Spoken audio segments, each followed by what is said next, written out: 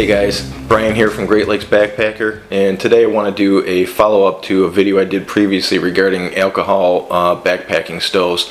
More specifically what I want to do is a side-by-side -side comparison burn test with the three stoves that I currently have and just show you why I think the one is superior to the other two, at least in my opinion. So let's go grab the stoves and we'll get started. Okay, maybe you're wondering why I'm standing out here in my garage with my winter coat on. Uh, the reason for that obviously is it's really cold. Last night the low was 8 to 10 degrees and the wind chill was about uh, 10 below. And uh, to make the test even a bit more lopsided, what I intend to do is leave my alcohol stove uh, outside in the cold all night with the alcohol. Uh, hopefully just to show you guys uh, how well this thing performs even when it's really cold. So let's go grab the stove.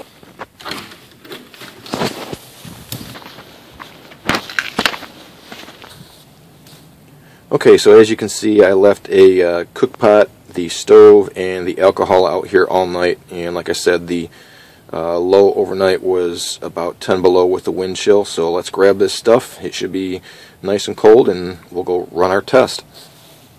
Okay, so like I said, this should be kind of an unfair advantage because the other alcohol stove pot and the alcohol itself were left outside overnight in the cold temperatures, while this stuff here, these cook pots and the two alcohol stoves that we're going to use for the comparison were left inside. So these are easily room temperature and uh, we'll see how they fare. Alright, so first of all what we're going to do here is we're going to get some uh, water and put it in the pots and then we're going to take it outside. So going to start off with uh, water right from the tap and we'll see if we can get at least a reading on this. It looks like the temperature is about 53 degrees and dropping so this is definitely some cold water coming from the tap. So we'll get two cups of water like you would if you were out on a backpacking trip getting ready to rehydrate some food and uh, we'll give it a shot. So I'm just going to add two cups of water to each one and we'll go from there.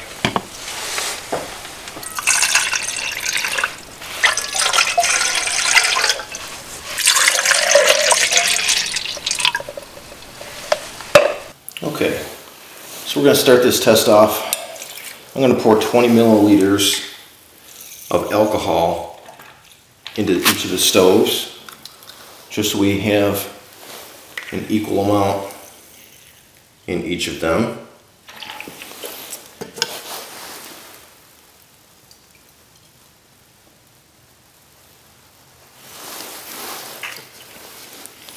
And on the penny alcohol stove,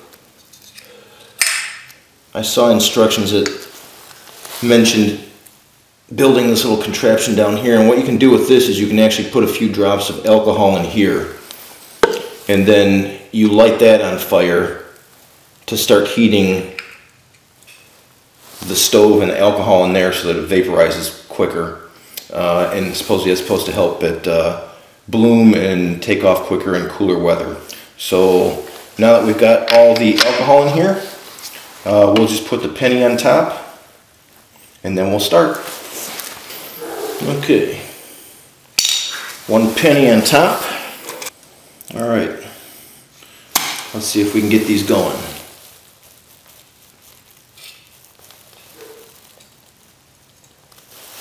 Alright, that one's going. Doesn't look very good. Normally with the penny alcohol stove it takes uh, anywhere from 30 to seconds to a minute for it to bloom, which basically just means that there's uh, flames coming out of the jets.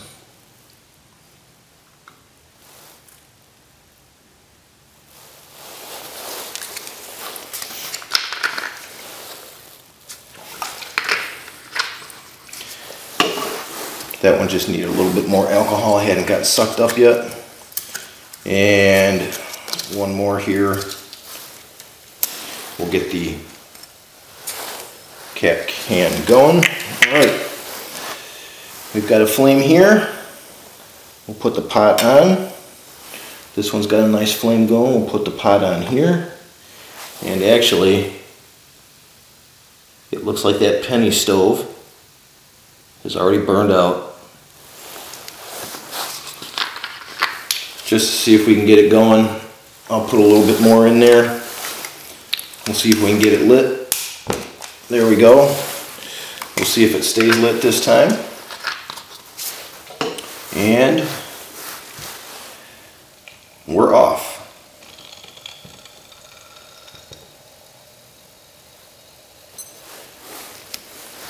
And for the penny alcohol stove, normally when you hear it making that kind of a noise and you can kind of see some flames coming out of the jets, which you guys really can't see from this angle, then it's normally okay to put the pot on. Actually, it looks like it just blew out again.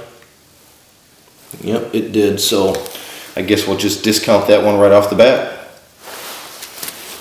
We're about a minute and 30 seconds into this test. And as you can tell, We've still got a decent flame going there on the stove with the carbon felt in it. And it looks like the stove right here, the cat food can with no carbon felt. Um, I don't see any flames coming out of that one. Actually, it doesn't even feel very warm. So that one may have already gone out as well. So we'll let it go here and we'll see what happens. All right, looking at the uh, stopwatch here, it now looks like we're about 3 minutes and 15 seconds. And we've still got a strong burn going on the stove in the middle there. And again, there's nothing here on this one on the end on the left. Actually, looking at that stove, that one has burned out as well.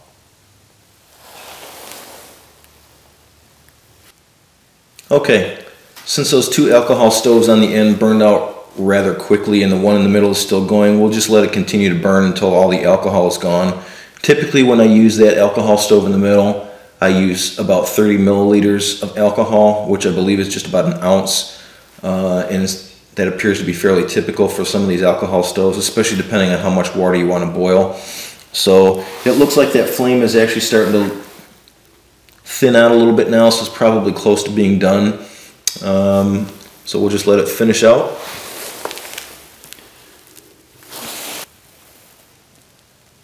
As you can tell, there's some steam coming off the water and some uh, bubbles forming in there. However, I don't think that's enough to actually get it to a full rolling boil with the uh, flame that's left.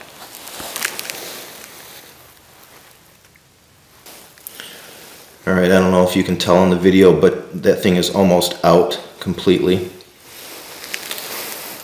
So, let me just grab it here and pull it off. You can see there's still a little bit of residual flame left, but for all intents and purposes, that thing is pretty much done. So we'll just call it an end to this uh, test here. And we'll let the stuff cool down, we'll bring everything inside, and we'll wrap this up. Okay, so we're back inside now. It's a little warmer in here than it was outside and in the garage. So we'll just recap what we uh, saw on the video. We'll start off with the first one here, the penny alcohol stove. Um, like I said, this little contraption, you're supposed to be able to put some alcohol in here to start a flame underneath here to help warm the alcohol and vaporize it easier so it burns better, especially in cooler conditions. Even though this one started up, it didn't last very long and burned out right away. I think it was even before I got the pot on it. So I wouldn't count on this in cooler conditions. The second one here, I know this is uh, fairly popular with some of the ultralight uh, long distance hikers. Um, but for my purposes here for this test it didn't work very well. Actually uh, in a real world environment I had this on a kayaking trip back in May and temperature was probably 40 or 45 degrees overnight and when I was using this in the morning to boil some water for some hot chocolate uh, it bloomed. I put the pot on with the cold water, and within about a minute or two, uh, it had basically flamed out and wouldn't uh, wouldn't heat the water. So, in cooler conditions, this is basically useless. Um, at least in my experience. Uh, maybe in warmer conditions, uh, this is a great thing to take along with you, but for cooler temperatures, probably not so much. And so then we'll move on to the last one here. Uh, the cat food can with the carbon felt. As you saw in the test, this one took a flame right away. It kept burning. And as a matter of fact, I let the timer run until this thing flamed out completely. And it was about 8 minutes and 5 seconds. So with only 20 milliliters of alcohol, it burned for quite a while. And while it didn't get the water to a rolling boil, as you were able to tell in the video, there were bubbles forming and there was some steam coming off of it. And what you didn't see in the video when I turned everything off and went to empty the water, uh, I stuck my finger in real quick. It was really hot. Um, like I said, it wasn't a rolling boil and I wouldn't count on that to treat water, but that's not really an issue with me because I have a water filter that I use for those purposes. So if I'm using this strictly just to make some hot chocolate, some coffee, or rehydrate some meals, uh, this worked perfectly well. So overall, I guess this is the winner. So that about wraps it up. Thanks for watching and stay tuned for more stuff in the future.